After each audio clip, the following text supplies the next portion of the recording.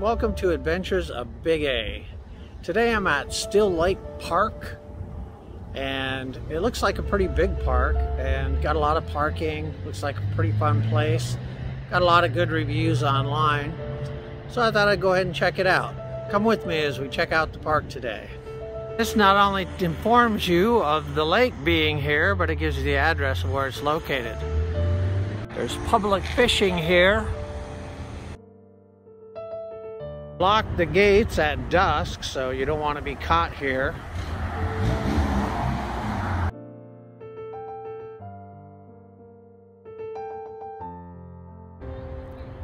It's a very large parking lot. It's only part of it. This is the other part. And then there's more parking if you keep following the road up. So you can see they have some nice picnic areas, both out in the sun and in the shade there. This spot, they have a little grill to cook out on.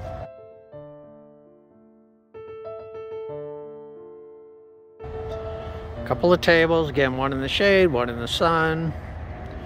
Lots of nice little forest. Grassy area for the kids to play. When I was coming into the park, I saw a little field or something up here. So I'm to go ahead and check and see what's up here. Looks like this park is spread over a pretty good sized area.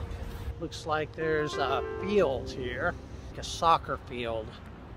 A lot of kids play soccer up here in the northwest Seattle area. Looks like they built a memorial here to someone named Johnny, but I can't quite make out the last name on it, so it's obviously been around for a long time. Ah, that memorial must be to Johnny A. Massengale, because this field apparently is dedicated to him, but it's Site 5, so I'm assuming they have at least four other fields in this park. You can reserve a picnic area here. You know, if you have a special event, otherwise I think they just let you have a picnic here as long as you're not like a really big group. And of course, the field itself with seating for an audience.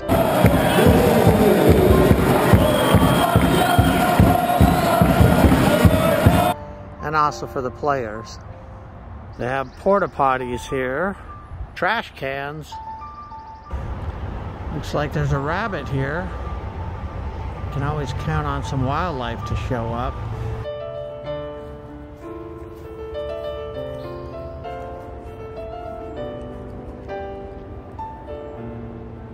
And it's a nice day today. It's been raining out for, I don't know, about at least a week, I would say. And it finally got nice again. So, it's a perfect day to do this. And they have some nice little boulders here on the side of the road to kind of decorate everything. The park closes at 9 or dusk, whichever is earlier. Now we're at the Steel Lake picnic area. As you can see, this is a pretty big map here. They have many rules they want people to follow while they're here. Most parks do. There's something important for people with dogs to know that they're allowed on a leash only, but they are not allowed in play areas, on the beach, or on the sports fields. This is site three. Kind of confirms what I was talking about earlier that people with reservations will have priority. Anyone can use the picnic tables, but if you reserve them, then you have priority to anybody else that might be sitting here. The dog's are looking at me. Once a year, my uncles, aunts, and cousins all used to come to parks to have a picnic and a family reunion. Those were some of the best times of my life. And I'm sure that's what the kids that are here now playing will probably be thinking as they get older. How fun it is to come and visit these places with your family and the memories that you create. And that's part of the reason I do this. It's such it's very rewarding uh, for me personally to come to these places. Uh, many places I'd never even been to. But you should really consider coming to Steel Park at some point, especially if you have a family and you want a bunch of fun things to do. They have parking down here closer to the lake as well, and a large play area for kids to play in. This is the other area for parking, which is right over by the lake. Check out all the ducks and geese here. There's a bunch more ducks coming up to the shore, or inland. Just passed an elderly woman who was feeding the ducks and the geese. And here's a sign that gives you four good reasons not to feed them. You know, because there's uh, parasites in the waterfowl, increased nutrients cause algae and weed growth. Feeding waterfowl can interfere with nature. And human food is not good for waterfowl. It's probably the number one reason. It looks like the swimmer's itch that they were talking about on that sign from parasites has actually been reported here. They have a dock out there. Here's the swimming area for the people to go out into the water and play. Have restrooms, look like maybe vending machines over there.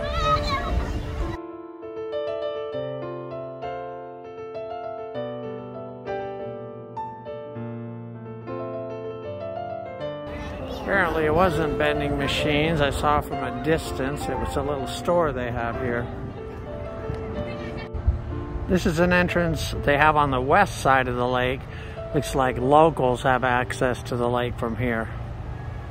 Sign indicates the direction is Steel Lake Park, Sacagawea School, and FW High School, which is about half a mile from here, I guess. Yeah, there's another squirrel. There's a lot of them around here.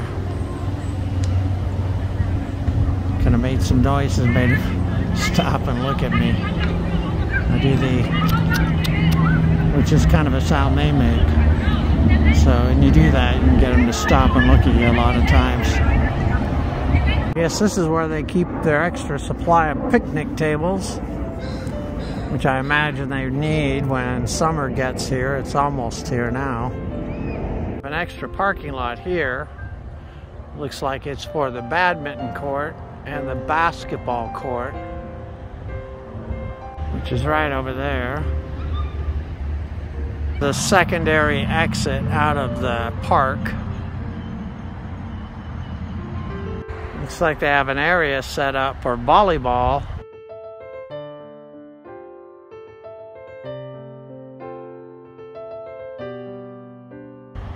Don't have any nets up right now. I don't know if you're supposed to bring your own or ask them for them.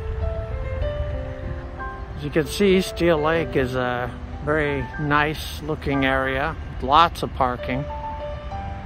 I'm heading over to Site 4, which is probably the furthest site from the lake. Therefore, it has no picnickers. Thank you for joining me today at Steel Lake Park. And I ask that you come back and join me again in the future for another adventure of Big A.